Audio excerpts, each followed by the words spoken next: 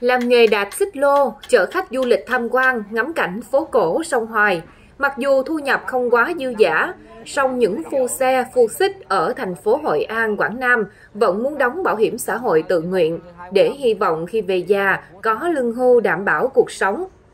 Theo ông Phan Phước Tùng, sinh năm 1965, Chủ tịch nghiệp đoàn xích lô Hội An, tổ chức cơ sở trực thuộc Liên đoàn Lao động thành phố Hội An, được thành lập năm 1997, tập hợp những người lao động tự do làm nghề đạp xích lô tại phố cổ Hội An. Mặc dù lương chỉ đủ sống khoảng 8 đến 10 triệu đồng một tháng, nhưng trong tổng số 102 người tham gia nghiệp đoàn, vẫn có hơn 10 người quyết định tham gia bảo hiểm xã hội tự nguyện để được hưởng các chính sách chăm sóc sức khỏe và quan trọng nhất là sau này có lương hưu.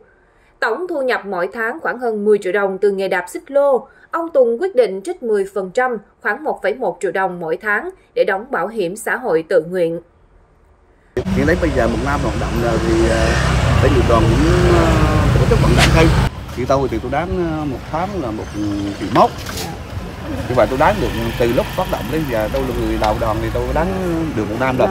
Không sao với mức thu nhập hiện tại bây giờ thì kinh tế bây giờ làm ăn bây giờ thì khách số lượng khách là có rồi. Thì cái mức lương như vậy thì cũng cọ mẫu thì cũng chưa đến nỗi gọi là khó khăn lắm.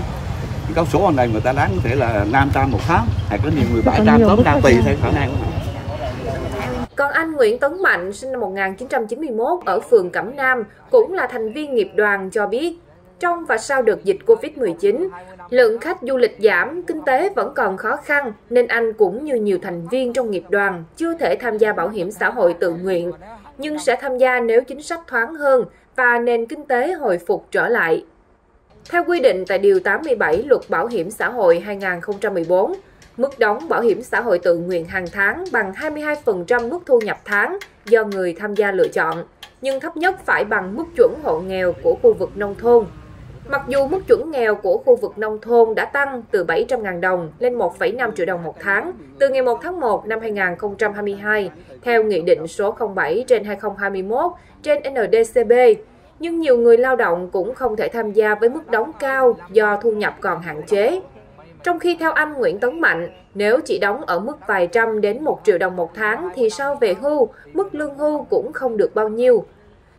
do là cái cái cái mức đóng á là nó thấp quá tại vì cái lương cơ bản của mỗi năm nhà nước người ta cũng tăng lương cơ bản như mình như ở ở hiện tại là năm triệu rưỡi rồi đó nhưng mà nếu như tụi em đóng tháng một triệu thì cái mức lương nó quá thấp Tuy nhiên, theo ngành bảo hiểm xã hội, mức lương hưu được hưởng khi đủ tuổi hưu và đủ năm đóng không phải là trả theo số tiền đã đóng bảo hiểm xã hội, mà được trả căn cứ trên mức thu nhập làm căn cứ đóng bảo hiểm xã hội tự nguyện mà người tham gia đã lựa chọn.